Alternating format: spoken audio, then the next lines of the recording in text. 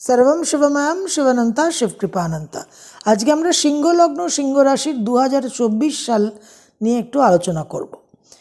তো সিংহ লগ্ন সিংহ রাশি আপনাদের দু হাজার যে গ্রহ প্রভাব দেখা যাচ্ছে, তাতে বিশেষ করে আপনাদের একটা হিউজ ক্যারিয়ার গ্রোথ জীবনের পদ প্রতিষ্ঠার একটা জায়গা, জীবনে একটা অথরিটি একটা পদমর্যাদা একটা কর্তৃত্বের জায়গা অর্জন করার কিন্তু একটা বিশেষ সম্ভাবনা।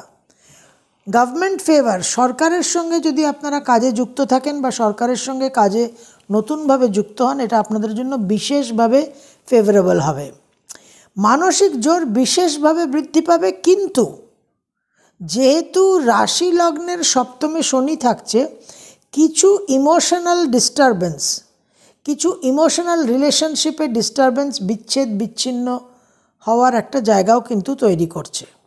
তবে এই সপ্তমের শনি আপনাদের জীবনে একটা পাওয়ার পজিশন একটা পায়ের তলায় মাটিকে শক্ত করবে, একটা কনসলিডেট করবে কিন্তু আপনাদের ওভারঅল লাইফ পজিশনকে ফ্যামিলি লাইফের দিকে আপনাদের একটা গুরুত্ব দিতে হবে কারণ ক্যারিয়ার কাজের প্রফেশনাল লাইফের ব্যস্ততার কারণে family life personal relationships close near and dear ওয়ানসের প্রতি একটা অবহেলা, একটা নেগলিজেন্সের জায়গা তৈরি হবে। সেখান থেকে কিছু সমস্যা তৈরি হতে পারে। সুতরাং ওয়ার্ক আর ফ্যামিলি এই দুটোকে ব্যালেন্স করে কিন্তু আপনাদের দু হাজার চব্বিশে চলতে হবে। অ্যারোগেন্স আর ইগো তো অবশ্যই আপনাদের একটা রাশি লগ্নের সমস্যা। তো এই অ্যারোগেন্স আর ইগোকে কিন্তু বিশেষভাবে কন্ট্রোল করে আপনাদের চলতে হবে।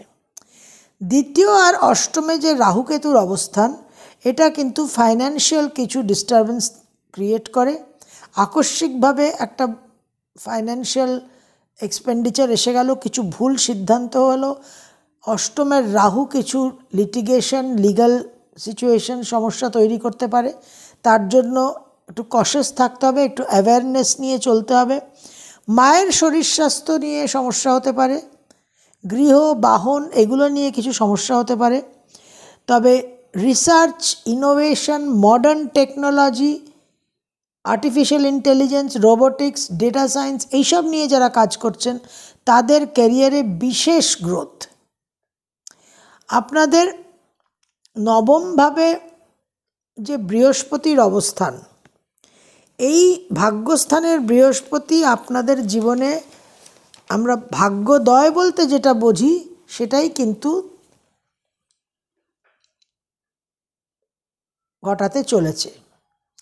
এই বৃহস্পতি আপনাদের নবমভাবে এবং কালপুরুষের লগ্নভাব তো আপনাদের নবম, পঞ্চম, এই যে দুটো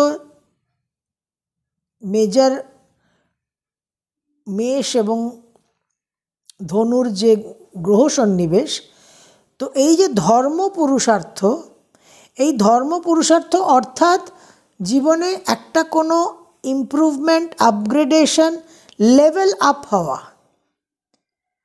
তো হয় হায়ার এডুকেশনের মাধ্যমে, নয় কর্মস্থানে নতুন কোনো স্কিল সেট ডেভেলপ করলেন বা এমন কোনো কর্ম পরিবর্তন হলো যেখানে একদম একটা নতুন খুব স্ট্রং প্রোফাইল হয়ে গেল।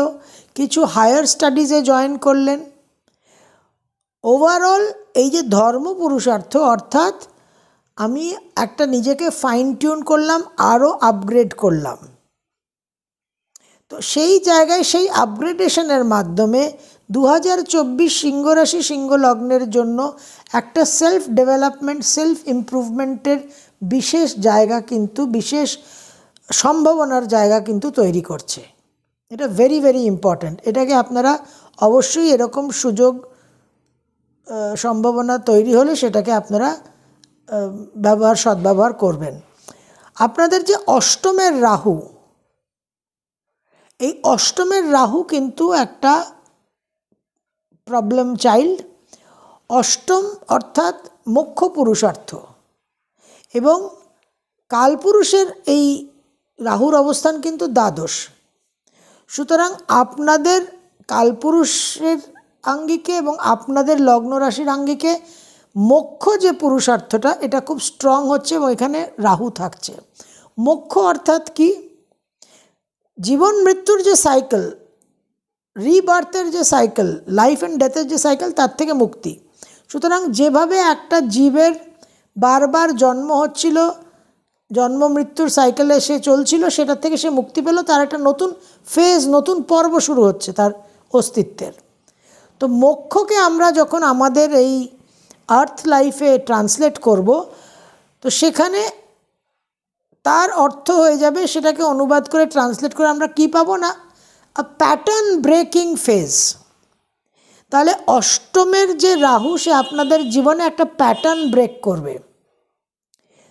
তো এই অষ্টমের রাহু আপনার জন্মছকে দশা, অন্তর্দশা যদি ফেভারেবল থাকে,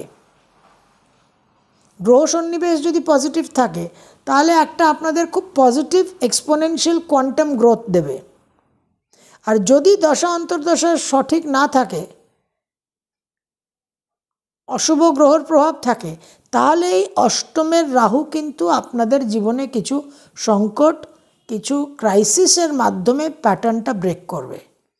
কর্মচ্যুতি হতে পারে, আবার একটা খুব ফেনমিনাল ক্যারিয়ার গ্রোথ হতে পারে। যেভাবে চলছিলেন, যে প্যাটার্নে যে পথ চলা চলছিল, হচ্ছিল, যে কমফর্ট জোনটা ছিল সেটা কিন্তু একটা বিশেষভাবে স্ট্রংলি ব্রেক করবে এবং নবমের বৃহস্পতিও সেটাকে সাপোর্ট করছে। তো সিংহলগ্ন সিংহ রাশির মানুষদের দু হাজার চব্বিশে একটা জীবনে খুব আমূল পরিবর্তন, একটা প্যারাডাইম শিফট হওয়ার কিন্তু সম্ভাবনা দেখা যাচ্ছে। এবং সেখানে অবশ্যই সব ক্ষেত্রেই আমরা যেটা দেখে থাকি যে পার্সোনাল হরোস্কোপ যদি সেটাকে সাপোর্ট করে, ভালো এ থাকে। সাপোর্টিভ ইনফ্লুয়েন্স থাকে, তাহলে বিশেষভাবে কিন্তু আপনারা লাভবান হবেন। কর্মরত ছিলেন প্রফেশনাল ছিলেন জব করতেন সার্ভিস করতেন, ব্যবসায় চেঞ্জ হওয়ার হলো। এই যে একটা টোটাল ক্যারিয়ার পাথ চেঞ্জ বিদেশে চলে গেলেন। তো এই রকম একটা পুরো অ্যাক্সিস চেঞ্জ হয়ে যাওয়ার জীবনের কিন্তু সম্ভাবনা। অবশ্যই সেটা থেকে আপনারা লাভবান হবেন। তবে কিছু ডোমেস্টিক ইস্যুস গৃহসুখ নিয়ে সমস্যা, মায়ের শরীর স্বাস্থ্য নিয়ে সমস্যা এবং পার্সোনাল লাইফের একটা কম সময় দেওয়ার কারণে, অবহেলার কারণে, নিজেদের অ্যারোগেন্স ইগোর কারণে একটা সমস্যা হওয়ার সম্ভাবনা আছে। সেই দিকে আপনাদের অবশ্যই খেয়াল রাখতে হবে।